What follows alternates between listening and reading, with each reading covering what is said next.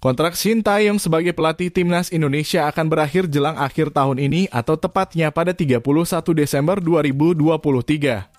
Kini Shin Taeyong berfokus pada gelaran Piala Asia pada bulan Januari 2024 mendatang. Maka dengan adanya Piala Asia tersebut, Shin Taeyong mendapatkan sebuah tantangan setidaknya bisa lolos fase grup. Sementara itu, tim yang tergabung dalam fase grup bersama timnas Indonesia yaitu Jepang, Irak, dan Vietnam.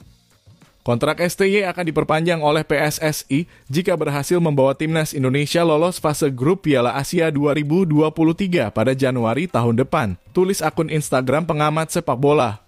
Meski demikian, disebutkan juga bahwa kontrak Shin Taeyong bakal tetap diperpanjang berdasarkan hasil evaluasi dari PSSI.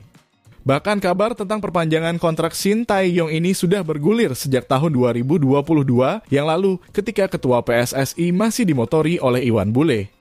Di antara pertimbangan perpanjangan kontrak Shin Taeyong adalah pembentukan mental pemain yang semakin membaik. Adanya regenerasi pemain sehingga terdapat banyak pemain muda yang potensial di dalam skuad merah putih saat ini. Maka, dengan melihat sepak terjang Shin Taeyong yang cukup banyak membawa perubahan yang baik bagi timnas Indonesia. Erick Thohir yang kini menjadi ketum PSSI yang baru pun diminta netizen untuk perpanjang kontrak dari pelatih asal Korea Selatan tersebut. Lolos gak lolos, diperpanjanglah, kata netizen. Kecewa sih kalau gak diperpanjang, tulis netizen lainnya.